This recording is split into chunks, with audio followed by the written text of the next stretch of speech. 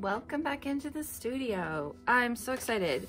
Um, I'm gonna be working in my junk journal that I still haven't finished the covers on, um, that I made quite a while ago.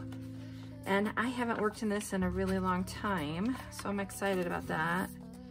Um, I'm gonna work on here because I've been dying to do something with this ledger.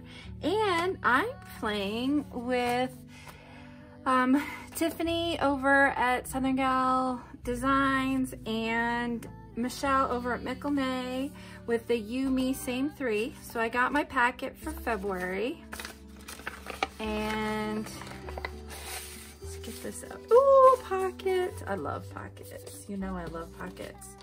Ooh, yummy, yummy pocket. Oh, fun. Okay. So a nice ginormous pocket. And okay, so this little piece, life is not measured by the number of breaths we take, but by the number of moments that take our breath away. Oh, isn't that neat? Huh. Okay, so I've got this. Oh, it's like a hist uh, doctor's history, family history kind of thing. And this little milk token. Huh. It must have been like the way it's, I don't know. It's either a milk pug or um, or labeling. I don't know. It's got this little indentation. Can you see it? Interesting. Well, I'm super excited about this. So I really don't have any plans other than I wanted to work right here on this two-page spread, which is a weird sized one. So I don't know if I'm to integrate the second piece in or I don't know what I'm to do. Let's find out. Let's get started. I know that I'm going to put some tape right here. That is where I'm going to start. So, let's do that. Okay, let's get that unstuck let's get into this. All right, I have pulled out my background tote. This is where I have pieces of paper that I've put all the extra stuff, extra paint and stuff on them. And I'm just going through and selecting some that are catching my eye that will work.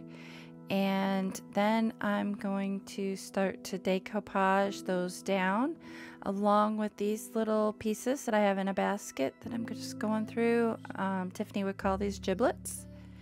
And um, then I'm going to pull out my gel medium and get to decoupaging those down um, along with the items that I received in my You Me Same 3 pack.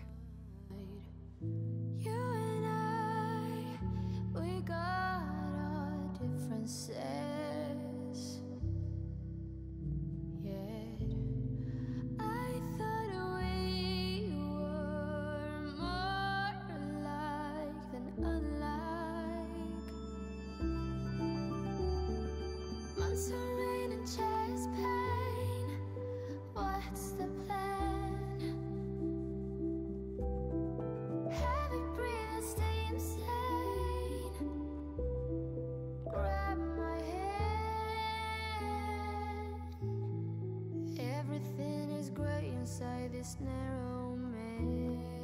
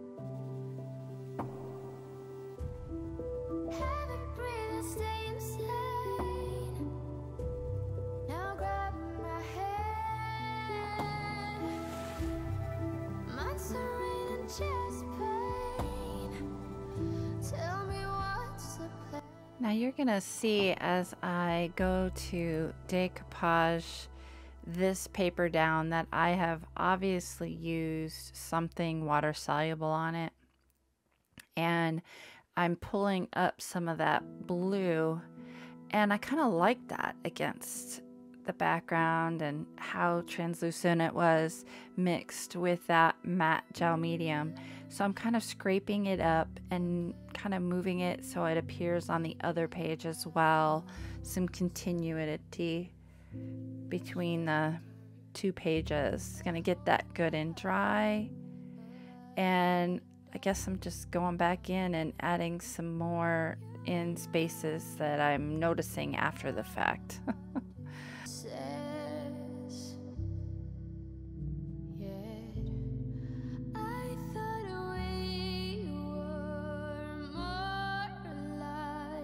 Now I'm going to come in with some gesso and really with the gesso um, you can push back um, a lot of what's going on and and you're under the paper underneath your collaging. And um, another thing you can do depending on the amount of pressure you put on that palette knife you can make it more translucent more opaque. Um, so you can see some areas coming through. Uh, if you use it and go lighter with less gesso on it, you can go over your textural areas and kind of catch and highlight some of those peaks and valleys, or really the peaks. Um, you can soften the edges of your decoupage pieces and bringing all the elements kind of more cohesively in as one uh, piece. And that is what I'm trying to do here with the gesso and using this palette knife.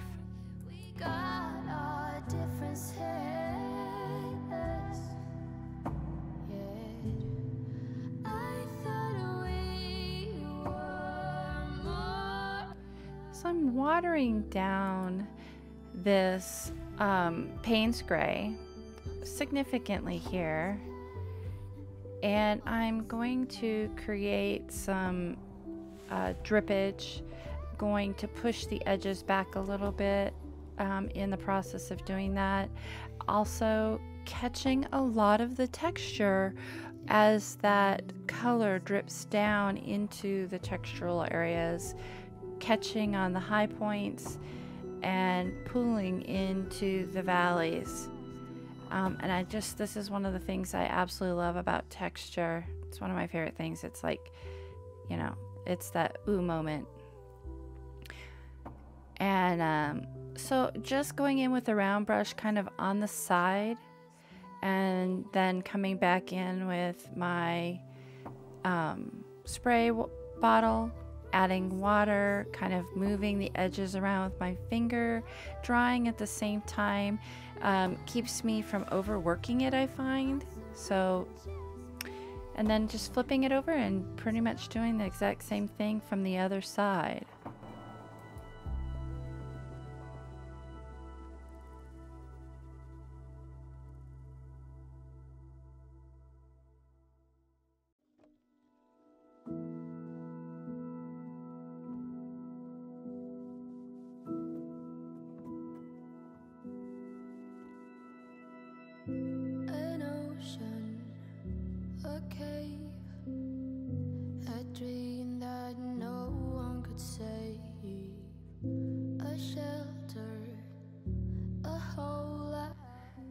That I've got that all dry, I am going to go in with my fine liner. This is filled with titanium white acrylic paint and airbrush medium.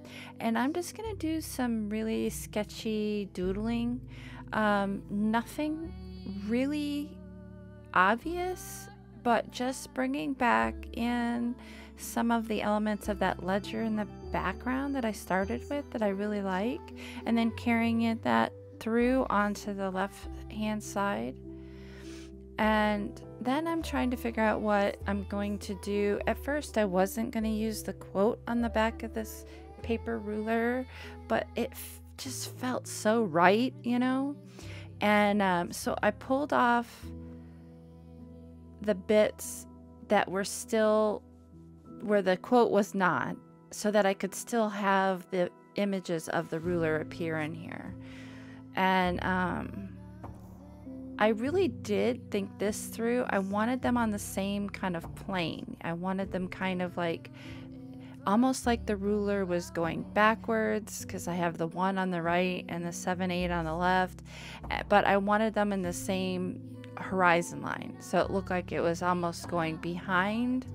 It, you know, it really doesn't look like it went behind the other decoupage elements, but, um, you know, I, this was what's going through my head as I'm just doing and putting things down.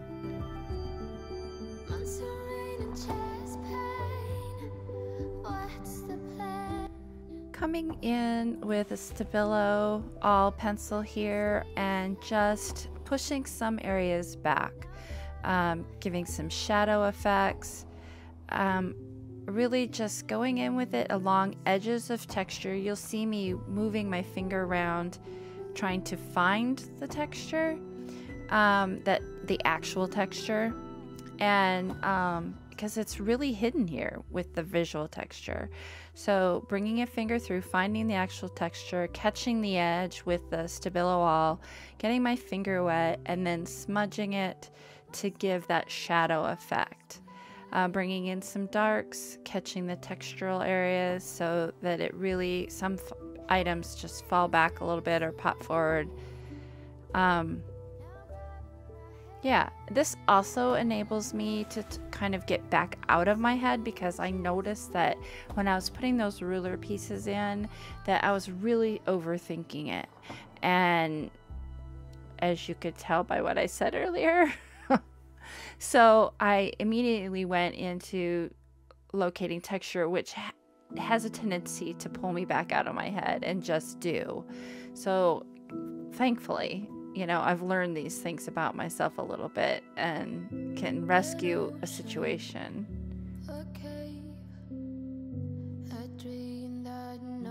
Now I'm thinking a little bit about um, how I want to handle my focal point, and I knew I wanted to use that milk topper as my focal point along with the quote on the back of the ruler.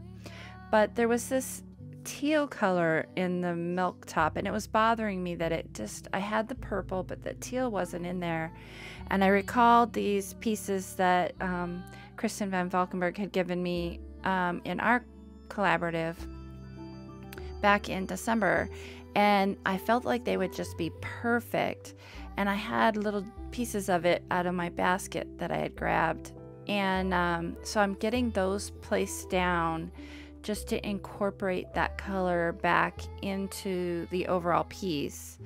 And then you're going to see I'm going to start working on that focal point.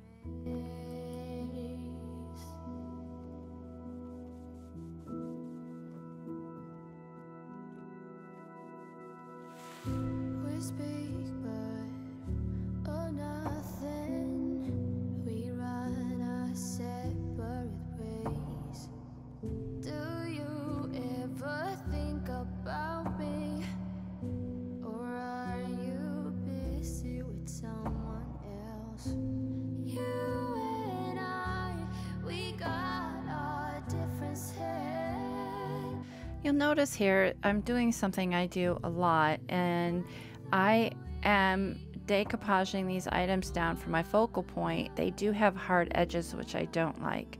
So I put the two hard edges against each other. I do this a lot. I've never really talked about it before but I thought I'd point it out. So when I go to put these next pieces over it you really don't see that hard edge. You just get that ragged edge from the uh, alternative side. And of course, so then I, you know, cover it all up, but you know, it's there. I know I did it.